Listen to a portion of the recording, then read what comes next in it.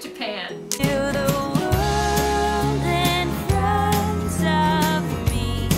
I honestly can't believe that one year ago I had the dream of coming to Japan and I did it.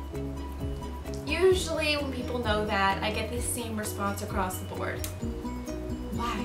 Well, why not? This is the best time to uproot my entire life and move to a foreign country.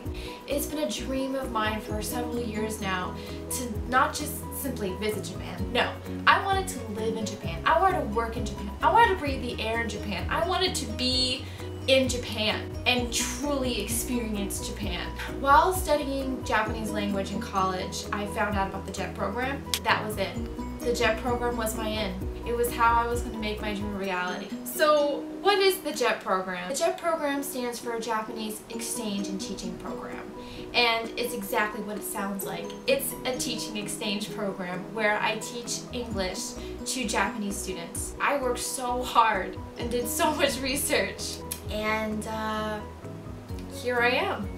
Now I am placed in the Fukui Prefecture which is on the west coast of Japan, around central Japan-ish, and it's directly on the opposite coast of Tokyo.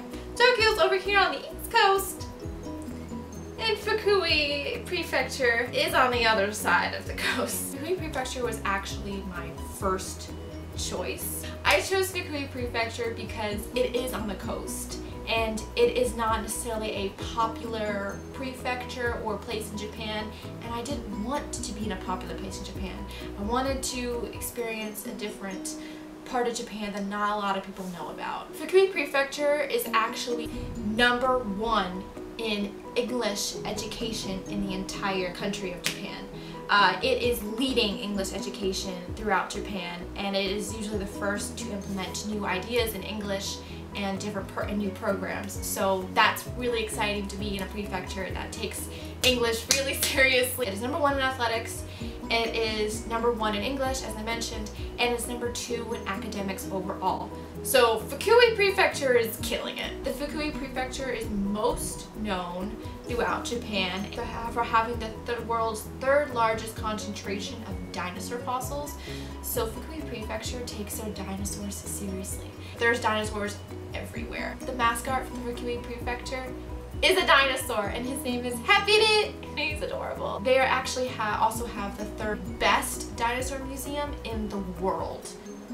That's just my prefecture. Town that I'm placed in is a tiny little town called Mikuni. It's right on the coast of the Sea of Japan and is literally the northernmost town in Fukui Prefecture, like maybe a 20 minute drive away from the next prefecture above us, which is called the Ishikawa Prefecture.